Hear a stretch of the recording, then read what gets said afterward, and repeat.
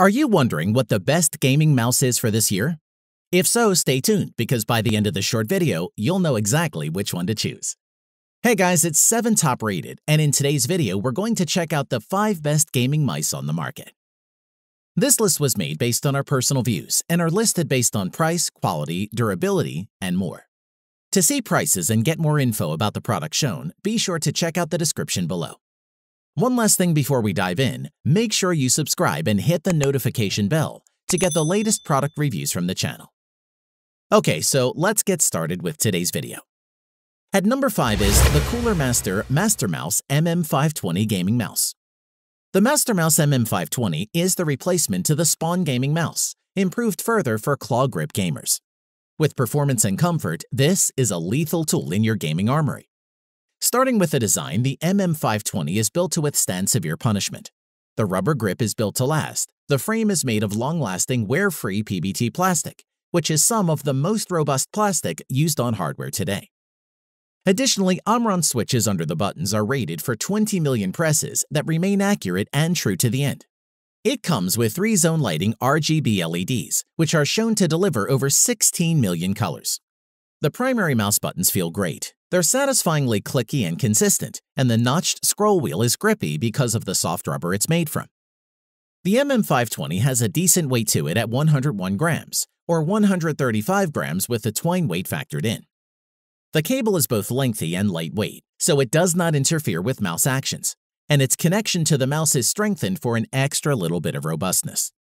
Moving on, the MM520 gaming mouse is fitted with a Pixart 3660 optical sensor, with an adjustable DPI up to 12,000. That's a lot of DPI, which means no lag, no stutter, and no fighting with your mouse in the thick of a game, which we really liked.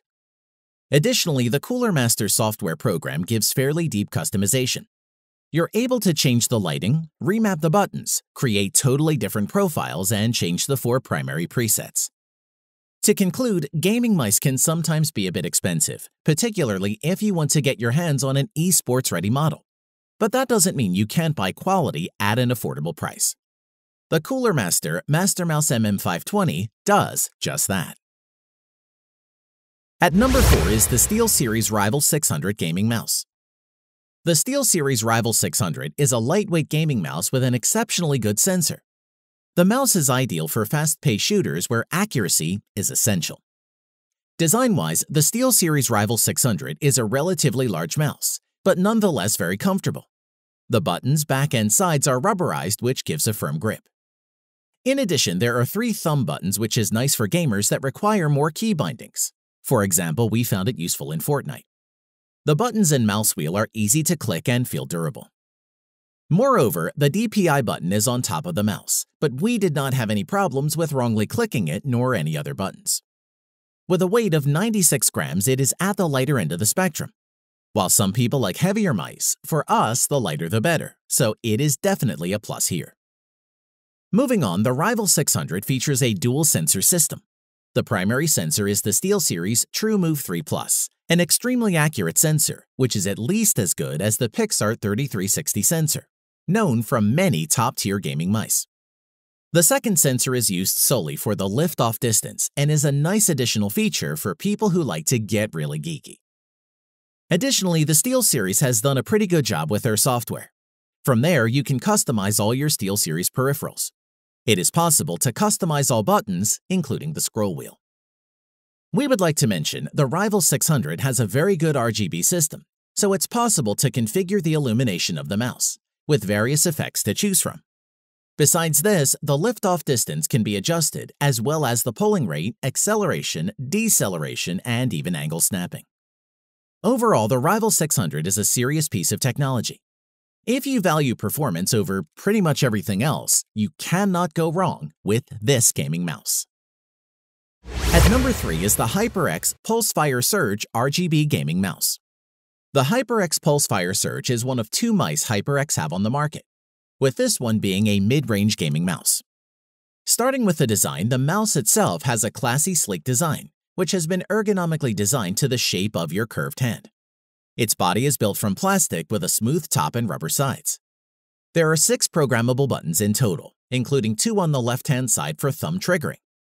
Below the scroll wheel is a PixArt 3389 sensor DPI button, which is set to the default three settings 800, 1600, 3200 DPI, but can be changed to suit your own needs. In addition, it has a distinct RGB 360 degree strip lighting, flowing around the entire mouse.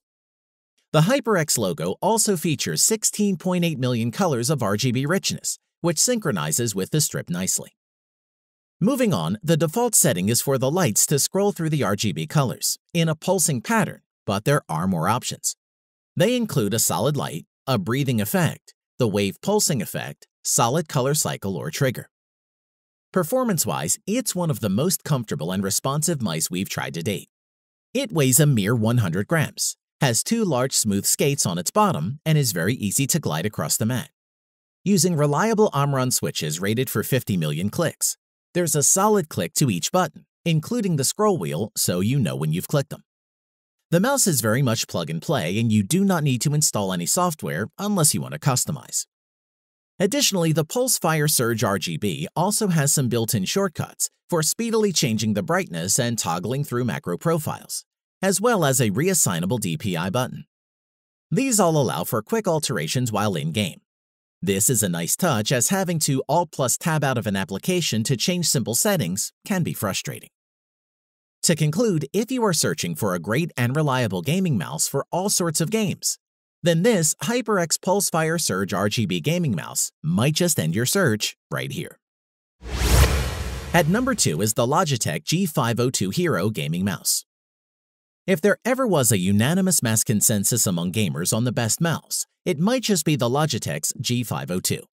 It's fast, accurate, and fits comfortably in just about anyone's hand.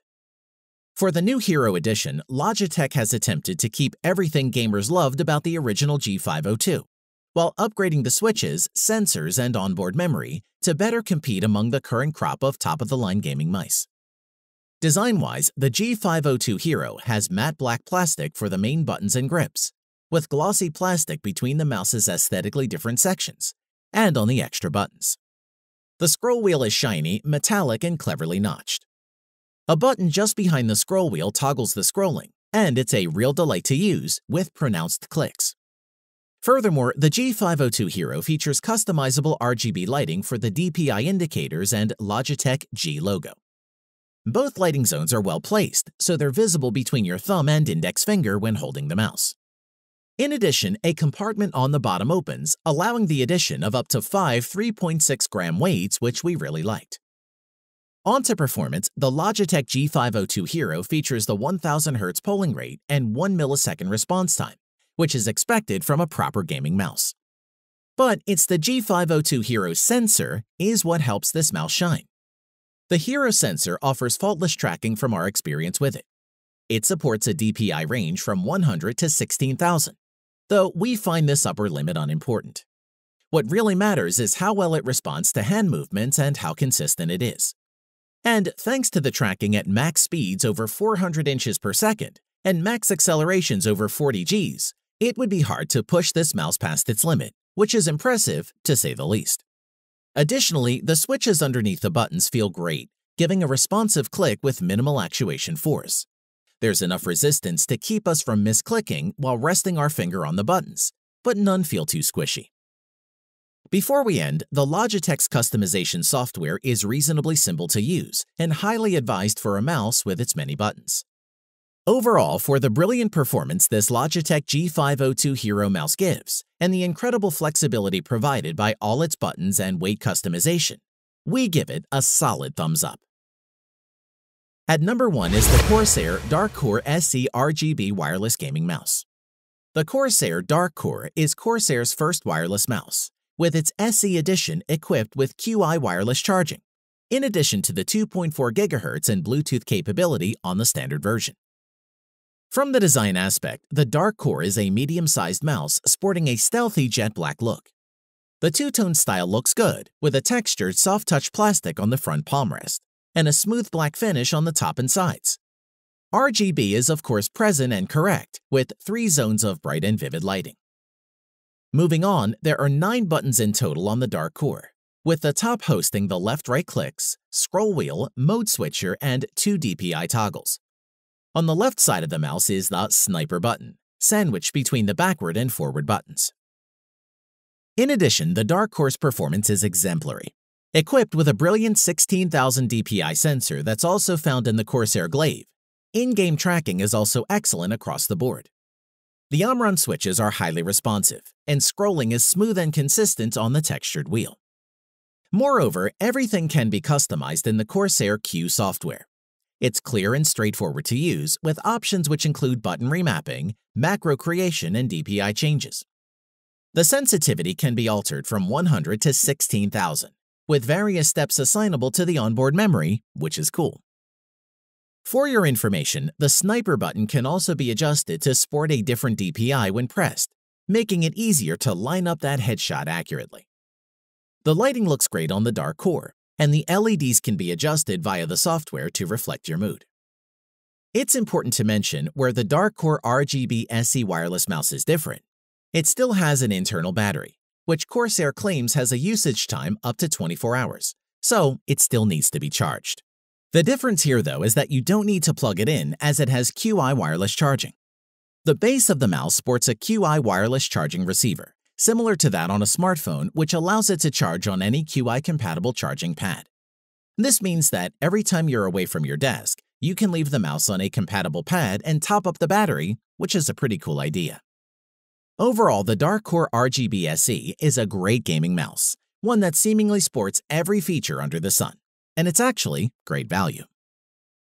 Thanks for watching the video. We hope you found it useful. Be sure to leave a like and subscribe to the channel to get more videos like this in the future. If you do have any questions related to these products, you can leave a comment below and we'll get back to you. Catch you soon.